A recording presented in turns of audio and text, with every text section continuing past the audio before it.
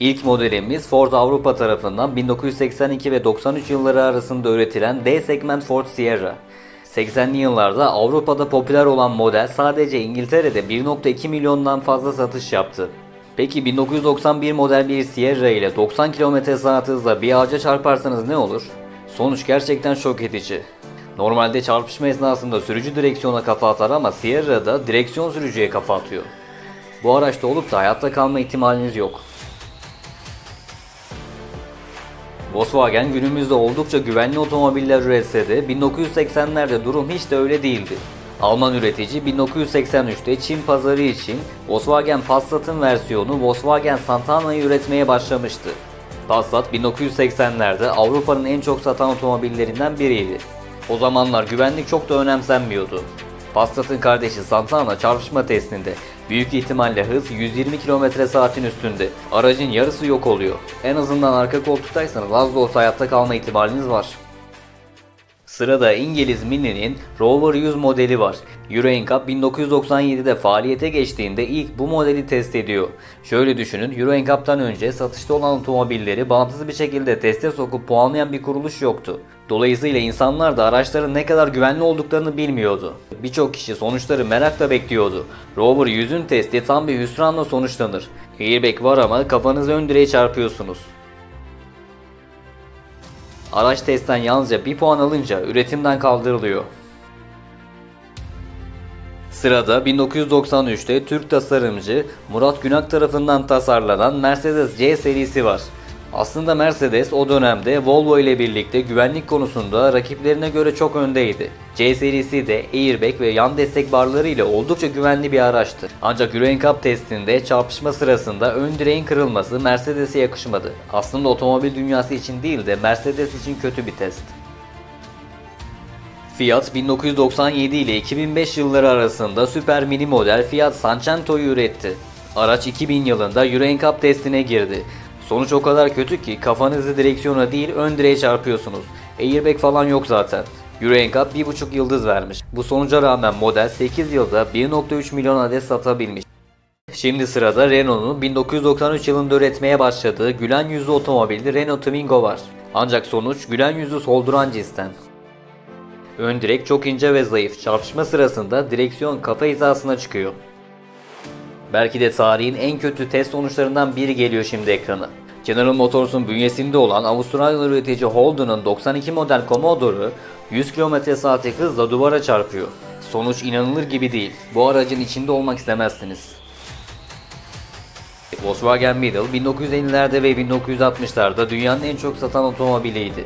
Bu videoda da görüldüğü gibi ciddi güvenlik sorunları nedeniyle 1970'lerde üretimi durduruldu. Böyle bir kazada hayatta kalsanız bile itfaiye ekipleri gelmeden o araçtan çıkamazsınız. 1997'de Euro NCAP faaliyete geçtiğinde ilk önce satışta olan süper mini modeller teste sokuldu. Renault Clio da diğer süper mini modeller gibi çok kötü bir performans gösterdi. Çarpışma etkisiyle araç öne doğru yığılıyor. Kafanız ön camdan çıkmasa da yan camdan çıkması çok olası. Clio testten sadece 2 yıldız alabilmiş. Şimdi de Citroen'in 1996 ve 2004 yılları arasında satışta olan süper mini modeli Saxo'ya bakalım. Araç bir reklam filminde zapt edilemez, önündeki engelleri yıkıp geçebilecek bir model olarak gösterilmiş. Bakalım gerçekte öyle mi? Görüntüler 1997 yılında faaliyete geçen Euro NCAP testinden. Ön direk ve orta direk çok zayıf. Tavan bile deforme olmuş durumda. Böyle bir durumda sürücünün araçta sıkışıp kalması çok olası. Neyse ki airbag varmış. Sırada Japon üretici Suzuki'nin Brezilya pazarı için üretilen 2013 model Suzuki Alto var. Sonuç 1997 yılındaki Renault Clio, Citroen Saxo gibi modellerin gösterdiği performansla neredeyse aynı. İnanılır gibi değil, airbag yok. Suzuki Alto güvenlik konusunda 15 yıl geride kalmış. Neyse ki emniyet kemeri var. Demek ki bazı ülkelerde insan hayatı hala değersiz. Tekrar geçmişe dönelim. Görüntüde Volkswagen'in 1980'lerde ürettiği Transporter'ın pick-up versiyonu var. Sonuç tam bir felaket. Neyse ki kasayı sağlam yapmışlar. Cana geldi ama en azından mala gelmedi. Aslında bu test sınırları zorlamak için Volkswagen tarafından yapılmış. Araçta 3 ton yük var. Transporter döneminin en güvenli ticari araçlarından biriydi.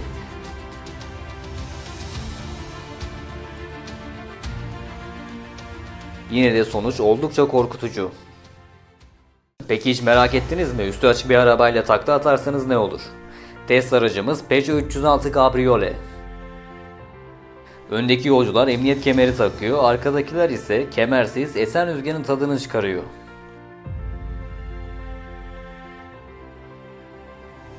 Arkadaki yolcular için büyük bir trajedi ancak öndekiler için daha büyük bir trajedi. Emniyet kemeri takmamak sanki daha iyi. Çünkü kafanız 1,5 tonluk aracı taşıyor. Kafanızın patatese dönmemesi için üstü açık araba kullanırken dikkatli olmakta fayda var. Şimdi sırada Malezyalı üretici Proton'un pick-up'ı var. 2003 model araç anında hurda yığınına dönüyor. Peki 2002 model hatchback Ford Focus'la 200 km saat hızla bir duvara çarparsanız ne olur? Tam olarak bu olur. Araç saliseler içinde hurda yığınına dönüyor.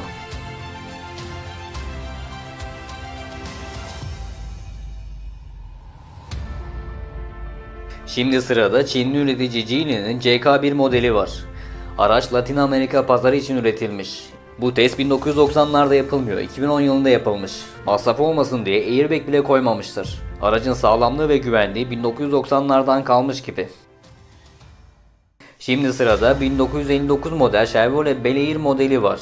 60'lı yıllar Amerikan üreticilerin Volvo'nun emniyet kemeriyle dalga geçtiği ve sağlamlık ve güvenliğin kimsenin umurunda olmadığı yıllar. Sonuca da yansıyor. O aracın içinden çıkmak pek mümkün değil.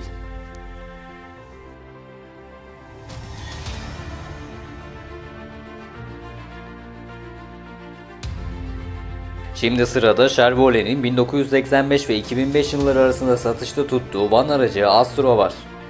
1996 yılındaki çarpışma testinde aracın şasisi ikiye katlanıyor.